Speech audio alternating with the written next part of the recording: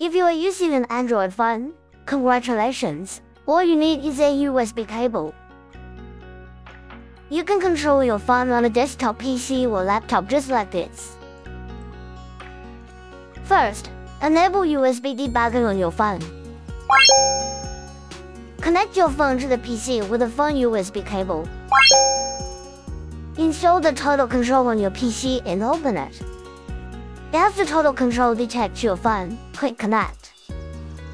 During the connection, Total Control app will be pushed to your phone. Follow the prompts to install it. Once connected successfully, you can use your PC's keyboard and mouse to control your phone. Type on your phone from the PC. The speed is lightning fast. Drag and drop files, videos, or photos from the PC to your phone with one click.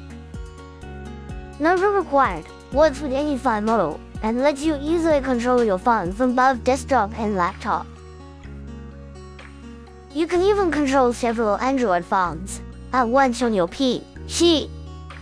Great for app testing, live streaming, device management. Tech support, and presentations.